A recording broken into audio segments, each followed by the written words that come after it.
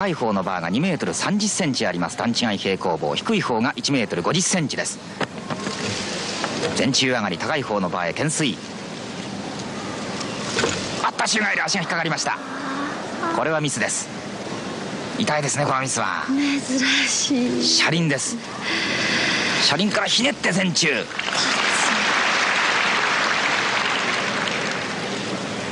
うん途中のミスがちょっと響いてるような感じで動きが鈍くなってまいりましたがああフットサークルからの棒状で1回ひねって降りてまいりました。